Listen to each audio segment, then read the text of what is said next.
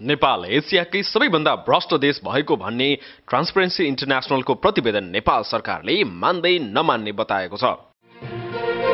उक्त संस्थाले हालै सार्वजनिक गरेको प्रतिवेदन पूर्णत राजनीतिक पूर्वाग्रहबाट प्रेरित छ। प्रमाणित नभएका आधारहीन तथ्य तथ्याङ्क जुटाएर कुनै खोज अनुसन्धान बिनै मनोगत धारणाबाट अभिप्रेत छ। सरकार र सत्ताधारी दललाई बदनाम गर्न खोज्ने। कथा today everything every one has a story. Transparency इन्टरनेसनलले हालै जारी गरेको प्रतिवेदनलाई आधारहीन खोज अनुसन्धान नगरी र केही सीमित व्यक्तिहरूको धारणा मात्र लिएको आधारमा सत्तारूढ दललाई बदनाम गराउने मनोगत उद्देश्यले आएको भन्दै यसलाई खारेज गरिएको बताएको छ नेपाल सरकारले। सो कुरा सरकारका प्रवक्ता तथा सञ्चार मन्त्री पार्वत गुरुङले नियमित पत्रकार सम्मेलनमा बोल्दै जम्मा एक हजार मान्छेसँग फोन गरेरै सर्वेक्षणको आधार मानेर नेपालमा भ्रष्टाचार बढेको भनेर सरकार र सत्तारूढ दललाई बदनाम गर्न खोजिएको बताएका छन्। मन्त्री गुरुङले पत्रकार सम्मेलनमा सरकारको तर्फबाट ट्रान्सपरेन्सी इन्टरनेसनलको उक्त प्रतिवेदनको खण्डन गर्दै प्रेस विज्ञप्ति जारी गरेका छन् र त्यहाँ भनेका छन् विश्व सूचकाङ्कमा नेपालको प्रगति राम्रो भनिरहेको छ। तीन करोड जनता रहेकोमा एक हजार जनतामा फोनबाट सर्वेक्षण गरिएको छ। जुन निकै थोरै हो। ट्रान्सपरेन्सी इन्टरनेसनल नेपालमा रहेका व्यक्तिहरू राजनीतिक छन्। राजनीतिक पूर्वाग्रहबाट तयार पारिएको प्रतिवेदन हो मन्त्री गुरुङले भनेका छन्। सरकार विरुद्ध गतिविधि गर्ने व्यक्तिको धारणा लिएर प्रतिवेदन तयार पारिएको छ। सरकार विरुद्ध लागिरहेका व्यक्तिहरूले मिसनका रूपबाट प्रतिवेदन तयार पारेका हुन्। सरकारप्रति वितृष्ण जगाउने काम गरिएको छ। उक्त प्रतिवेदन जाहेरी गरेर उनले भनेका छन् उनले संज्ञा दिँदै बाघ कराउनु र बाख्रा हराउनु जस्तो केही प्रतिक्रियावादीले अभियान चलाएको पनि बताएका छन्। जनतामा निराशा र भ्रम छर्ने प्रयास भएको छ र जनतालाई भड्काउने प्रयास भइरहेको भन्दै उनले त्यस्ता कार्यमा संलग्न नहुन सरकारले अपिल गरेको पनि उल्लेख गरेका छन्। ट्रान्सपरेन्सी इन्टरनेसनल नेपालका प्रमुख पनि चिनिएको राजनीतिक व्यक्ति भएकोले पनि यो प्रतिवेदनलाई खारेज गरिएको हो भनेर उनले भनेका छन्। प्रेस विज्ञप्ति सञ्चार तथा सूचना प्रविधि मन्त्रालयको तर्फबाट भन्दा नेपाल सरकारको तर्फबाट म यहाँहरूलाई प्रेस विज्ञप्ति मैले पूर्ण पाठ म यहाँहरूको बिचमा पढ्नेछु। ट्रान्सपरेन्सी इन्टरनेसनल नेपालको भ्रष्टाचार नियन्त्रणको सम्बन्धमा पुर्याउँदै आएको योगदानप्रति नेपाल सरकार सम्मान गर्दछ। भ्रष्टाचार अन्त्य गर्ने नेपाल सरकारको अभियानमा ट्रान्सपरेन्सी इन्टरनेसनलका प्रतिवेदनले सहयोग पुर्याओस् भन्ने चाहन्छ। तर उक्त संस्थाले हालै सार्वजनिक गरेको प्रतिवेदन पूर्णत राजनीतिक पूर्वाग्रहबाट प्रेरित छ। प्रमाणित नभएका आधारहीन तथ्य तथ्याङ्क जुटाएर कुनै खोज अनुसन्धान बिनै मनोगत धारणाबाट अभिप्रेत छ सरकार र सत्ताधारी दललाई बदनाम गर्न खोज्ने प्रयास स्वरूप आएको यो प्रतिवेदनलाई नेपाल सरकार अस्वीकार गर्दछ। ट्रान्सपरेन्सी इन्टरनेसनल नेपाल र तिनमा आबद्ध व्यक्तिहरूको दलीय आबद्धता तिनका स्वच्छता निष्पक्षता कति भरपर्दो छ भन्ने कुरामा विश्वास गर्न सकिन्न। झन्डै तीन करोड नेपाली जनतामध्ये साँगुरो घेरामा सीमित रही एक हजार व्यक्तिहरूसँग टेलिफोनबाट मनोगत धारणका आधारमा तयार गरिएको प्रतिवेदनको तथ्य तथ्याङ्क त्यसको नमुना छनौट समय र प्रतिवेदन तयार गर्दै लिएको सन्दर्भ सामग्रीले देशको छविलाई धमिल्याउने गरी प्रचार भइदिएको र तिनको खोज अनुसन्धान निष्कर्षहरू नियोजित आग्रह पूर्वाग्रहमा आधारित भएकोले उक्त प्रतिवेदनमा समेटिएका विषयवस्तुप्रति नेपाल सरकार असहमति राख्दछ। ट्रान्सपरेन्सी इन्टरनेसनलबाटै प्रकाशित प्रतिवेदनमा सम्माननीय प्रधानमन्त्रीज्यूबाट पटक पटकको औपचारिक तथा अनौपचारिक कार्यक्रममा गरेको भ्रष्टाचार विरोधीको प्रतिबद्धता र अभिव्यक्ति समेत उल्लेख छ। नेपाल सरकारको नीति तथा कार्यक्रमले डिजिटल फ्रेमवर्क नीति कार्यान्वयनमा ल्याएको छ। यसको कार्यान्वयनबाट भ्रष्टाचार नियन्त्रण तथा सार्वजनिक सेवा प्रभाव पारदर्शी र जवाबदेही हुने र पेपरलेस र मा हुने विश्वास राख्दछ। सो प्रतिवेदनमा सहभागी चौरासी प्रतिशत उत्तरदाताले विकासको काममा भ्रष्टाचार बाधक रहेको देखाउनुले पनि नेपाली जनता भ्रष्टाचारको सन्दर्भमा सचेत र जानकार रहेको छ तथा बैसठी प्रतिशत उत्तरदाताले सरकारको भ्रष्टाचार नियन्त्रण गर्ने निकायहरूको प्रभावकारिता र अभियानमा राम्रो कदम लिएको भन्ने उल्लेख छ। यही ट्रान्सपरेन्सी इन्टरनेसनलकै तत्कालकै प्रतिवेदनमा पनि नेपाल चाहिँ बैसठी प्रतिशत जनताहरू चाहिँ भ्रष्टाचार विरोधी सरकारको अभियानमा सफल कदम हो भन्ने प्रशंसा पनि सरकारको गरिएको यही ट्रान्सपरेन्सी इन्टरनेसनलकै रिपोर्टमा पनि छ। यो कुराले भ्रष्टाचार नियन्त्रणको सन्दर्भमा सरकार दृढ रहेको र सरकारका नियम निकायले प्रभावकारी रूपमा कार्य गरिरहेको पुष्टि हुन्छ। भ्रष्टाचार नियन्त्रण र अन्त्यको लागि सरकारले विभिन्न ऐन नियम र कानूनलाई संशोधन गर्न प्रस्ताव तयार गरेको छ। भ्रष्टाचारमा संलग्न भएकाहरूलाई कारवाही गरेको दण्ड जरिमाना गरेको र मुद्दा चलाएको र उल्लेखनीय र प्रशंसय उदाहरण गरेको र यही आर्थिक वर्षमा मात्रै सबैभन्दा उल्लेखनीय दुई लाख करिब दुई अरब अठहत्तर करोड बिगोलिएको धेरै व्यक्तिहरूलाई नेपालकै इतिहासमा मुद्दा चलाएका कारवाही गरेको हाम्रो उदाहरण पनि छ।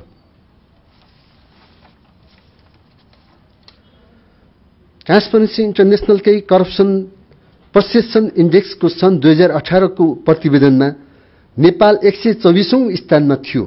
तर एक वर्षको अवधि नपुग्दै सन् दुई हजार उन्नाइसको प्रतिवेदन नेपाललाई एघार स्थानमाथि उकाल्दै एक सय तेह्रौं स्थानमा देखाएको छ।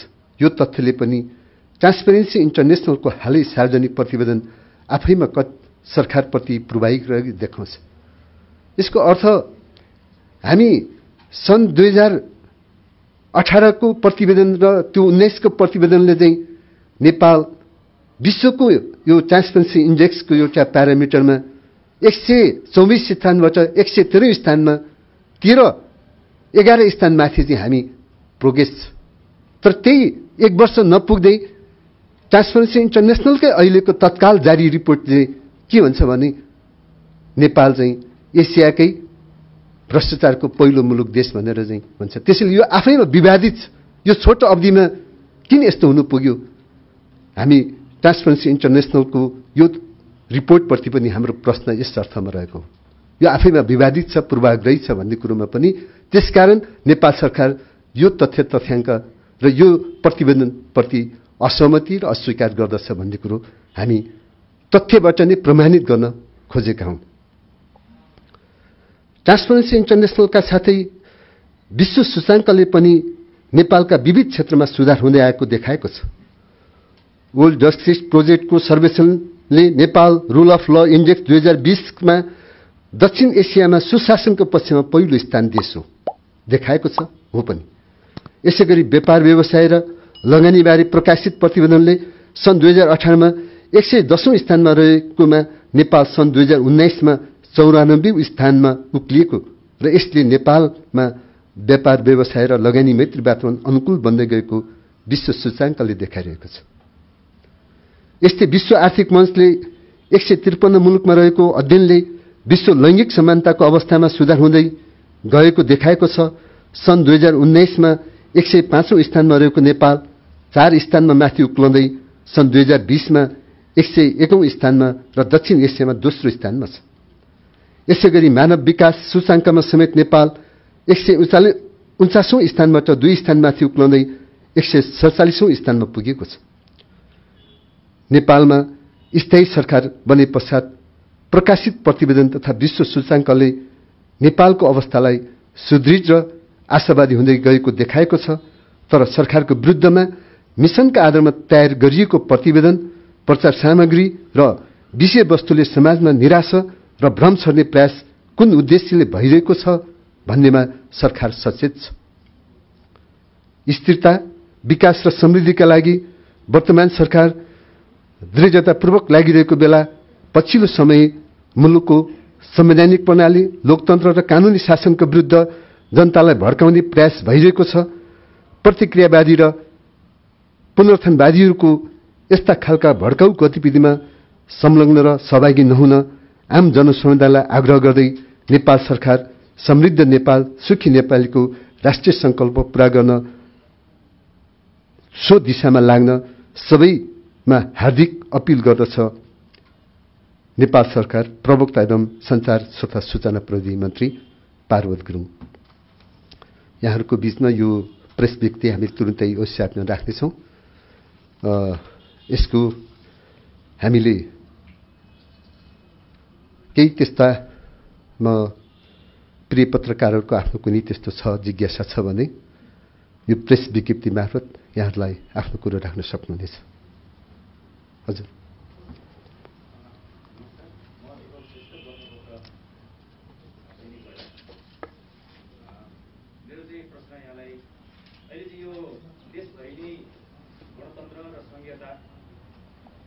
विरुद्धमा र यो धर्मनिरपेक्षताको विरुद्धमा चाहिँ अहिले देशव्यापी रूपमा प्रदर्शन जुलुसहरू भइरहेको छ सरकारको धारणा के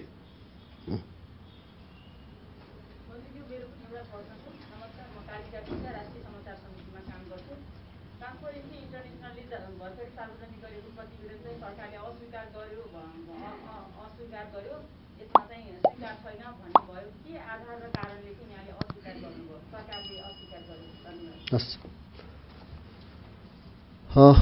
धन्यवाद छ पत्रकार मित्रहरू विशेष त मैले प्रेस विज्ञप्ति मार्फत नै मैले कालिकाजीको प्रश्नप्रति म सम्मान गर्दै प्रेस विज्ञप्ति मार्फत नै यो कुरो प्रष्ट बनाइएको छ।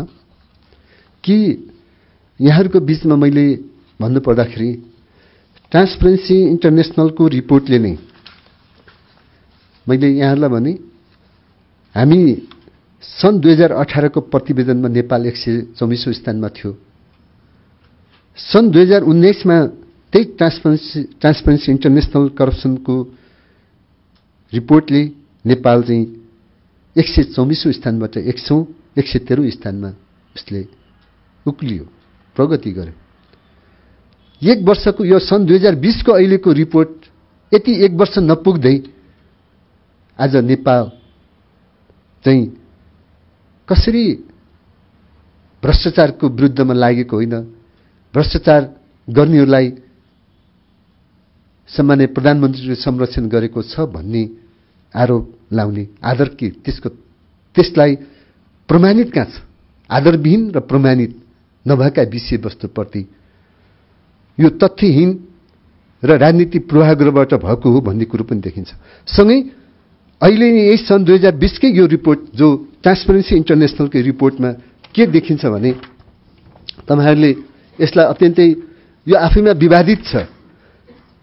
भने नेपालमा जुन एक हजार झन्डै तिन करोड जनसङ्ख्यामा एक हजार व्यक्तिलाई केबाट लिएको छ त भन्दा टेलिफोनबाट लिएको छ। को व्यक्तिलाई लियो भन्दाखेरि त सरकारको विरुद्धमा सरकारको प्रगतिबाट नचाहने ती सरकार विरोधी गतिविधिमा लागेका व्यक्तिहरूलाई जो एक हजार व्यक्तिलाई लिएको छ त्यो पनि के को माध्यमबाट टेलिफोनबाट। ती व्यक्तिहरूबाट पनि के देखिन्छ भने बैसठी प्रतिशत चाहिँ ती व्यक्तिहरूले पनि नेपालको सरकारका संयन्त्रले भ्रष्टाचार विरोधी गतिविधिको संयन्त्रले चाहिँ राम्रो काम गरेको छ भने यही प्रतिवेदनले व्यक्त गर्छ। सत्य कुरो त लुक्दैन नि। तर हाम्रा मिसनका रूपमा सरकारको विरुद्ध मिसनको रूपमा प्रचार सामग्री तयार गरेर प्रतिवेदन तयार गरेका चिजहरूलाई चाहिँ आज आएको हुँदाखेरि हामी यो प्रतिवेदनलाई हाम्रो समाजलाई हाम्रा नेपाली जनतालाई सरकारलाई बदनाम गर्ने र सरकारप्रति वित्तेष नजगाउने र आरोपित गर्ने कतै बाघ पनि कराउनु बाख्रा पनि हराउनु जस्तो दिपकजीले सोधेको क्वेसन जस्तै आज केही प्रतिक्रियावादी शक्तिहरू पुनर्थानवादी शक्तिहरूले पनि शिरछार पार्दै यो मौकामा सबै संयोगले यस्ता गतिविधिहरू त भएको होइन। त्यसैले यो प्रतिवेदनका कुन समयमा यो प्रतिवेदन तयार भयो जुन जुलाईमा छ त्यसैले त्यसबेला सरकार विरोधी अभियान निकै तीव्र गतिमा चलिरहेको थियो। र सन्दर्भ सामग्री पनि केही प्रचार सामग्रीले तयार गरेकोलाई मात्रै सन्दर्भ सामग्री लिएको यही प्रतिवेदनले कुन कुनसँग लियो भने यही प्रतिवेदनले देखाउँछ। त्यसैले यी प्रमाणित नभएका हुँदाखेरि र तथ्यहीन भएको हुँदाखेरि र विश्व सूचाङ्कमा नेपालको अरू प्रगति देखिने त्यही ट्रान्सपरेन्सी इन्टरनेसनलको रिपोर्टले विश्व सूचाङ्कमा यसको प्रगति छ भनेर देखाउने अहिलेकै सूचनाले पनि बैसठी प्रतिशत चाहिँ त्यो छ भन्ने जनताहरूले चाहिँ सरकारले गरेका भ्रष्टाचार विरोधी अभियान राम्रो छ भनेर भन्ने चौरासी प्रतिशत जन जनता यही हजारमा चौरासी प्रतिशत जनता चाहिँ नेपालमा विकासका विरोधी बाधक भनेको भ्रष्टाचार हो भनेर जनता सचेत हुने। त्यही जापानमा सडचालिस प्रतिशतले मात्रै भ्रष्टाचार विरोधी त्यो आफ्नो मत राखेको छ। नेपालमा त्यो चेतना छ। त्यसैले यो प्रगति र यो उन्नति सरकारले गरेको यस्तो समृद्धिको यो यात्रालाई अस्वीकार गर्ने सरकार विरोधी तत्त्वहरूबाट भएका कुरोलाई हामी यो अस्वीकार गर्छौँ र यो प्रतिवेदन तयार गर्ने नेपालको ट्रान्सपरेन्सी इन्टरनेसनलका प्रमुख पनि राजनीतिक एउटा दलीय आबद्धता र खुलेआम राजनीतिक रूपमा चाहिँ चिनिएको ब्रान्डेड व्यक्ति भएको हुँदाखेरि पनि यो प्रतिवेदन नेपाल सरकारले असहमति र अस्वीकार गरेको हो। र जहाँसम्म हाम्रो जसरी केही अहिले सरकारको विरुद्धमा अथवा त्यस्ता गतिविधिहरू छन् हामी नेपालको एउटा संहिता नेपालको संहिता प्रणाली नेपालको स्थिर सरकार नेपालको विकासका कुनै विरुद्धमा जुन जस्तो गतिविधिहरू भएको छ शिर ठार पारेको छ नेपाल सरकार त्यसमा सचेत छ र हामीले आह्वान पनि गरेका छौँ। यसमा कुनै पनि यस्तो गतिविधिमा नलाग्न सहभागी नहुन नेपाल सरकार आह्वान पनि गर्दछ र त्यस्तो गतिविधिप्रति सचेत रहन हामी सबै नेपाली जनता सबै राजनीतिक पार्टी सबै नागरिक समाज सबै पत्रकारहरूलाई पनि यो सङ्कटको घडीमा हामी सबै एकताबद्ध भएर अगाडि बढ्नको निम्ति आह्वान पनि गर्दछौँ। ट्रान्सपरेन्सी इन्टरनेसनल नेपालको वेबसाइट टिआई नेपाल डट ओआरजीमा गत नोभेम्बर पच्चिस दुई हजार बिसमा प्रतिवेदन जारी गर्दै ट्रान्सपरेन्सी इन्टरनेसनलको प्रतिवेदन नेपालमा भ्रष्टाचार झन बढ्यो भनेर लेखिएको छ। त्यहाँ यस्तो लेखिएको छ। अन्ठाउन्न प्रतिशत नेपाली भन्छन् एक वर्षमा भ्रष्टाचार झन बढेको छ। एसियाली मुलुकमध्ये सबैभन्दा बढी जनताले भ्रष्टाचार बढेको विश्वास गर्ने देश नेपाल नै रहेको ट्रान्सपरेन्सी इन्टरनेसनलको ग्लोबल करप्सन ब्यारोमिटर एसियाले उल्लेख गरेको छ। त्यस्तै तेइस प्रतिशत जनताले भ्रष्टाचार घटबड नभई उही स्तरमा रहेको विश्वास गर्ने पनि प्रतिवेदनले उल्लेख गरेको छ। अठार प्रतिशत जनताले मात्रै भ्रष्टाचार घटेको मान्ने गरेको पनि प्रतिवेदनले उल्लेख गरेको छ। नेपालभन्दा पछि थाइल्याण्डका पचपन्न प्रतिशत जनता त्यहाँ भ्रष्टाचार बढेको विश्वास गर्छन्। एसियाली मुलुकमध्ये सबैभन्दा कम कोम्बोडियामा बाह्र प्रतिशत जनता मात्रै भ्रष्टाचार बढेको विश्वास गर्ने पनि प्रतिवेदनले जनाएको छ। राष्ट्रपति तथा प्रधानमन्त्री भ्रष्टाचारी रहेको विश्वास गर्ने नेपाली जनता पचास प्रतिशत रहेको पनि प्रतिवेदनले उल्लेख गरेको छ। त्यस्तै बाह्र प्रतिशत जनताले एक वर्षमा सार्वजनिक सेवा लिँदा कुनै न कुनै रूपमा घुस खुवाउने गरेको पनि उल्लेख गरेको छ। त्यस्तै गरेर उन्तिस प्रतिशत जनताले एक वर्षमा सार्वजनिक सेवा लिँदा भनसुन गर्नु परेको पनि प्रतिवेदनले उल्लेख गरेको छ।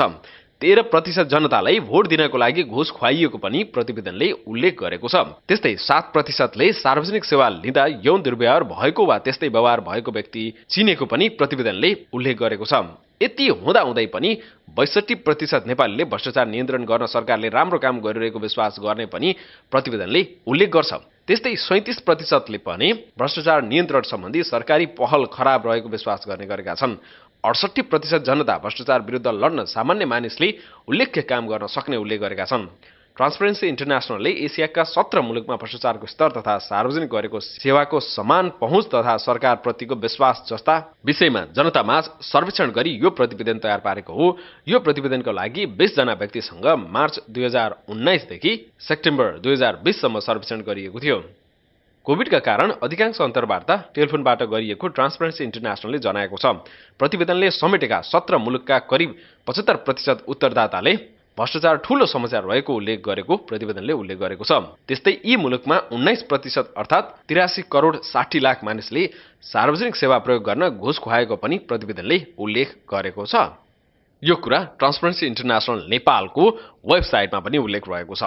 अब ट्रान्सपरेन्सी इन्टरनेसनलले नेपाल सबैभन्दा भ्रष्ट देश पछिल्लो एक वर्षमा बनेको भनेर यहाँ चर्चा भइरहँदा नेपाल सरकारले होइन यो राजनैतिक पूर्वाग्रहको कारणले मात्र नेपाल सरकारलाई बदनाम गराउन खोजिएको हो भन्ने विज्ञप्ति नै जारी गर्नुलाई तपाईँ कसरी हेर्नु भएको छ? आफ्नो विचार तलको कमेन्ट बक्समा भने राख्न नभुल्नु होला है त। अनि यो भिडियोलाई लाइक गर्नुहोस् अनि जति सक्नुहुन्छ सेयर पनि गरिदिनु होला। कथाटुडी युट्युब च्यानललाई भने सब्सक्राइब गर्नु भएको छैन अहिलेसम्म भने सब्सक्राइब गरेर जोडिनु होला। सँगै रहेको बेल आइकन पनि थिच्न नभुल्नु होला जसले गर्दा सबैभन्दा पहिले जानकारी तपाईँकोमा पुगिहालोस्। अनि भिडियोहरू हेर्दै गर्नुहोस्। हामी फेरि पनि भेट चाँडै नै हुनेछौँ है त।